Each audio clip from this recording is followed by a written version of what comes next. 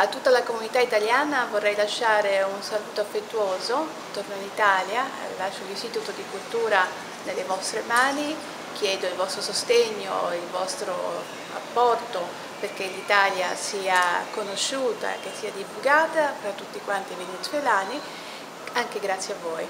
Arrivederci.